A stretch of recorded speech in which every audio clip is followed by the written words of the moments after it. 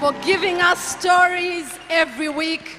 They sit back there and you don't see them, but they do an awesome job. My name is Pastor Ari, and I pastor here at Worship Harvest Naalya.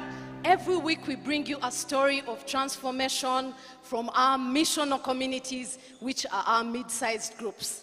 Worship Harvest is not Worship Harvest without missional communities. Today I'm so excited because we have young blood on the stage.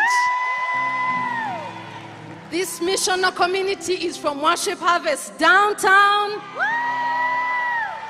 They are called the Chosen Army Missional Community. And they are led by a 13 year old here called Gabriela. Now, if you're already leading a location, maybe you can't clap, eh? But that's better. That's better. Gabriela, how many people do you have in your missional community, and what, what do you do as a missional community? Thank you, Pastor Ari. I would like to thank Apostle Mose and Pastor Ari. Plus my locational pastor, Pastor Fiona Mulira. So in our missional community, what we do is to evangelize, do frontiers, we look for the lost sheep. Uh, and um, my names are Gabriela, Ashant Gabriela. I'm the leader of Chosen Army Teens MC. Awesome, awesome. Now, every missional community leads at least one person to Christ every week. And so, Gabriela, tell us about your last evangelism drive, where you went, what you did, and how many people gave their lives to Christ. Uh, last Saturday, we went to campus, Kyambogo University. We evangelized and we got 21 souls. I expected a bigger clap than that. These teenagers you see here went to Kyambogo University, evangelized, and got 21 souls. So in heaven, there's a party. Down here, there's a party because some people have come to the saving knowledge of Jesus. Amen. Amen. Now, another thing that we do in the community is that we go and we are church to people in the community in a very relevant way. Gabriela, can you tell us about the last frontier you had, where you went, what you did, and what the impact was?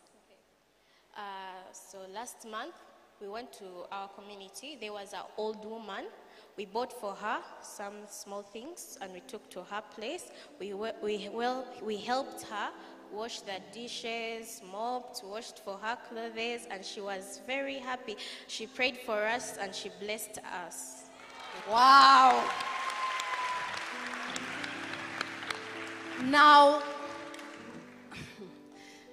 imagine that old lady and what her life has been when young people go and clean for her, wash for her, bless her with some few things, which don't take a lot of money but change her life completely. Gabriela, tell us about some people's lives that have been changed within the missional community. I have a friend called Anisha. Is she here? Yes. Anisha. Anisha, can you put up your hand? Awesome. Anisha was a girl who used to come to church, but she never wanted uh, the MC. We called her one day, but then she never even wanted to come. We called her, we told her there, there will be snacks. Then she allowed. then we started praying. We were even we were on the word, and then she was like, the things are not coming, the eats are not coming. She was like, ah, these guys told me there will be eats, but I'm not seeing them. And she used to be this person who used to be, if you tell her something, she backs at you, she abuses you. But now she has changed completely. And she's now in the worship team of downtown. She even preaches the gospel. She even preaches the gospel. Yes. Wow, wow, wow. I think there's someone else whose story you were telling me earlier on. Maybe you can tell everyone that story. It's Winnie. Is Winnie here? Awesome. Winnie had a problem. She was sick of asthma. Every time she would be in the hospital, but one day Apostle taught about saying, Two miracles are coming ahead of me. She said that, and she's healed. She's completely healed. Oh, we thank God so much.